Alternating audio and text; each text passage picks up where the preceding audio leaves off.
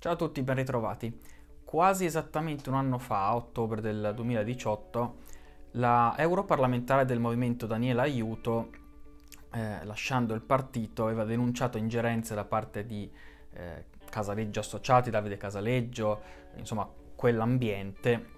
nelle sue attività parlamentari, nelle sue attività eh, private anche. Eh, questo aveva sollevato eh, una la curiosità e l'interesse dell'allora vicepresidente del Parlamento europeo, che oggi è presidente, David Sassoli, il quale aveva eh,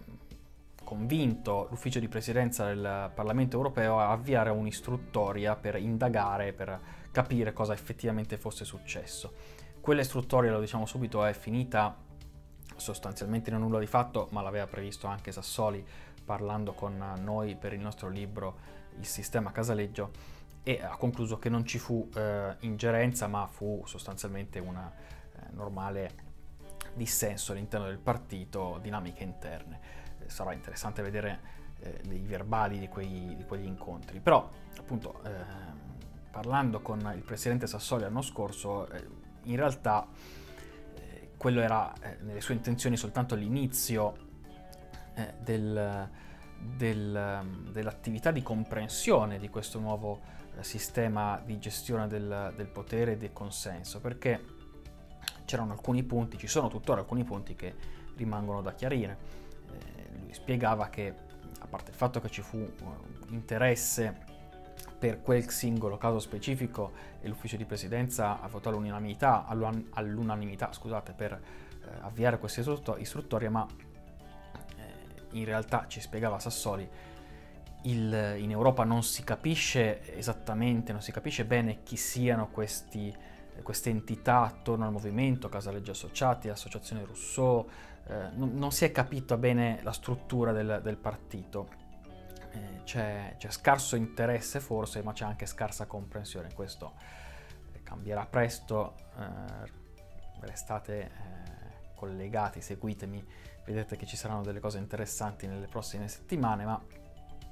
appunto c'è questo problema di eh, mancanza di comprensione, di conoscenza del, dell'argomento. Eh, il problema, diceva Sassoli, che eh, questa istruttoria andava fatta perché non ci sarebbero gli strumenti qualora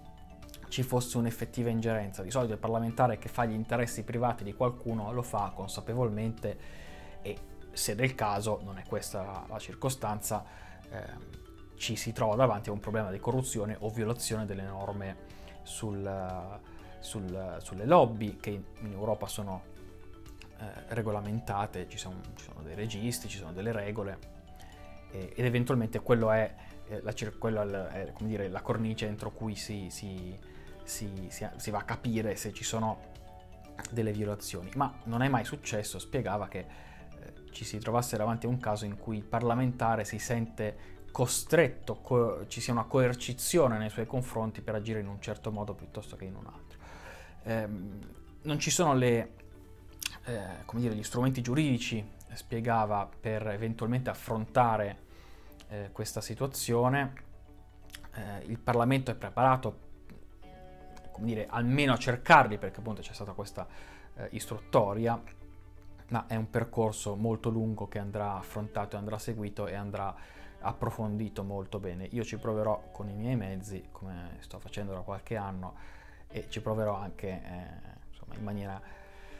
un po' più allargata nelle prossime settimane se riesco a organizzare un paio di cose a cui sto pensando. Vi ringrazio dell'attenzione, vi ricordo i miei canali social, eh, mi trovate sempre sul, uh, con il nome utente Marco Canestrari su Twitter, Telegram, Facebook, Instagram sui cana- su tutte le piattaforme di podcasting, sul mio sito internet marcocanestare.it dal quale potete iscrivervi alla mia newsletter